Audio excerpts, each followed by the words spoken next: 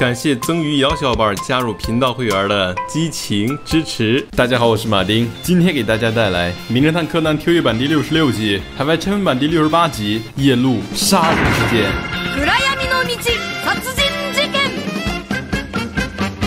这天，毛利三人吃完饭从一家餐厅出来时，刚好在门口遇到了毛利的大学同学大村。两人一番寒暄过后，大村表示他所在的那栋公寓楼最近有点异常，一到晚上就会发出奇怪的声音，就像是有人在外面不停地敲打墙壁一样。一开始他以为是附近的小孩子搞的恶作剧，但是查看后发现外面空无一人，因此他希望毛利能够去他家帮忙调查一下。好友有事相求，仗义的毛利自然是义不容辞。镜头一转，来到大村家，许久未见的两人将家中的酒都喝光了，依然觉得意犹未尽。无奈，小兰和柯南只好再去买点儿。此时夜已深，路上的行人寥寥无几，就有一男子在漆黑的路灯下吞云吐雾，而居民楼里的人们也陆续关灯睡觉了。小兰把酒买回来之后，毛利就迫不及待地喝上了。哪知刚喝一口，就突然传来玻璃破碎的声音。毛利他们走进卧室一看，发现卧室的玻璃窗无缘无故的碎了，还没来得及多想，就听到楼下出事儿了，赶到现场一看，只见一男子躺在地上一动不动，另一男子站在旁边手足无措。毛利上前摸了摸倒地男子的脉搏，发现他死了，死因是头部遭到钝物重击致死。现场没有找到凶器。之后，木木警官带队赶到了现场，调查结果显示，被害人叫生田一郎，是米花大学的学生。案发时和受害人在一起的男子叫世风日下，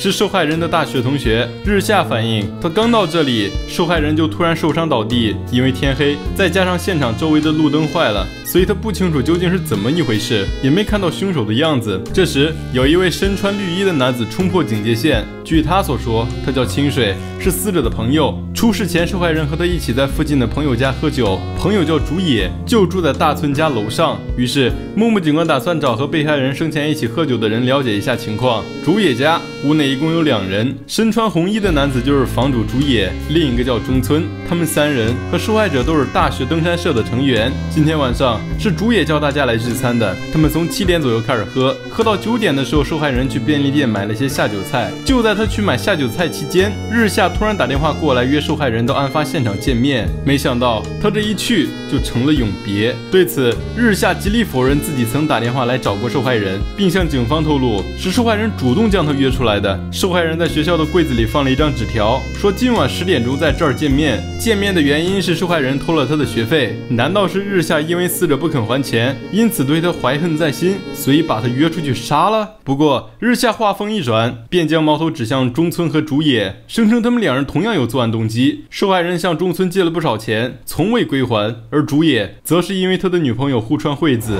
去年冬天。在一次社团登山活动中，受害人跟户川惠子遇到了山难。受害人为了保命，丢下腿脚受伤的惠子独自逃生。最后，受害人获救，惠子遇难。但两人均表示，他们并没有因此对受害人怀恨在心，并且他们有不在场证明。从聚会到现在，除了十点左右的时候，竹野单独到隔壁房间整理了一下报告之外，他们一直没有离开过客厅。竹野曾独处过，又是登山社的一员，因此毛利认为他可以利用绳子从户外滑到地。面，但看过房间的窗户后，毛利排除了这种可能，因为窗户能打开的角度非常狭小。虽然毛利没有找到线索，但柯南发现了一个疑点：既然案发前竹野在屋内写报告，那他和小兰从便利店回来的时候，为何没有看到这个房间开灯呢？柯南重新勘察了一下屋内，并没有发现什么可疑之处。不过，确定了死者生前是个老烟枪，因为烟灰缸里的烟头跟遗留在现场的烟头是同一个牌子。为了找到新的线索，柯南决定重新勘察现场。下楼时，突然。意识到大村家在竹野家的正下方。更巧的是，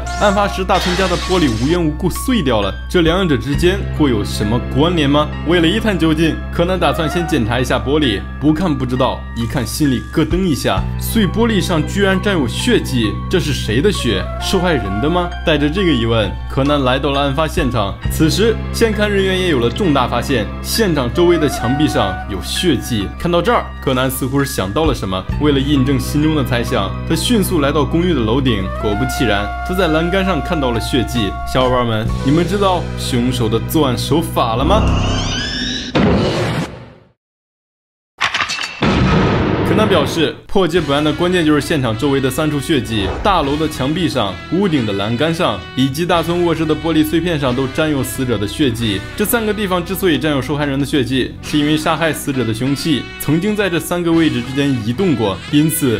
凶手不用靠近案发现场，一样可以完成这项谋杀计划。凶手先用一个类似于袋子的东西装满小石头，然后在这个小石头上面用两条吊线把它给绑紧。把石头绑好以后，就从这个房间的窗户利用弹弓把这块石头射往对面大楼的屋顶。两栋大楼之间的间距小，只要把弹弓拉紧一点，不管什么人都可以把石头射过去。然后将钓鱼线穿过栏杆，将两根钓鱼线的线头打个结，连接起来。钓鱼线连接好后，把一根麻绳绑在吊线的一端。再把钓鱼线的另一端先从外向里拉进屋内，等麻绳代替钓鱼线穿过栏杆后，用麻绳的另一个绳头把手上的塑料袋给绑住，然后扔向受害者，就像这样。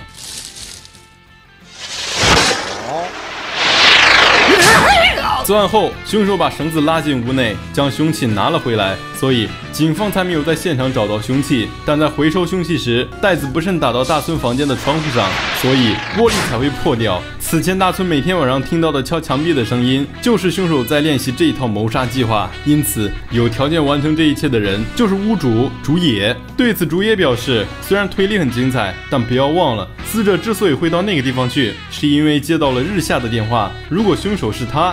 他又是如何提前预知日下会约死者出去？很难解释道，日下根本没有打电话过来，这一切都是竹野一手安排好的。事先利用录音机把日下的声音录下，时间一到就放出来，让大家误以为是日下打来的。在日下柜子里面塞便条的人也是竹野。竹野这样做的目的就是为了把日下设计成杀害死者的凶手。对此，木木警官还是有些不解。现场漆黑一片，竹野是如何准确无误的击中目标的呢？柯南表示，竹野就是要让人有这种错觉，所以。才会把路灯事先打坏。了解受害人的都知道，他是一个老烟枪，随时随地都会抽烟。因此，竹野只要瞄准黑暗之中那点香烟火光，就可以成功将其杀害。而他之所以把房间里的灯光关掉，是为了防止有人看到凶器是从什么地方丢过去的。不知道大家有没有注意到竹野脚上所穿的袜子？在这如此炎热的季节，他居然穿着一双厚厚的登山袜。这是为什么呢？因为那双袜子就是凶器的一部分。他在袜子里面塞满了石头充当凶器，行凶之后。再把小石头放进金鱼缸里面，然后把袜子翻过来穿上。证据就是金鱼缸的水草上夹了一根红色的毛线，颜色与竹叶脚上的袜袜子颜色一样。最重要的是，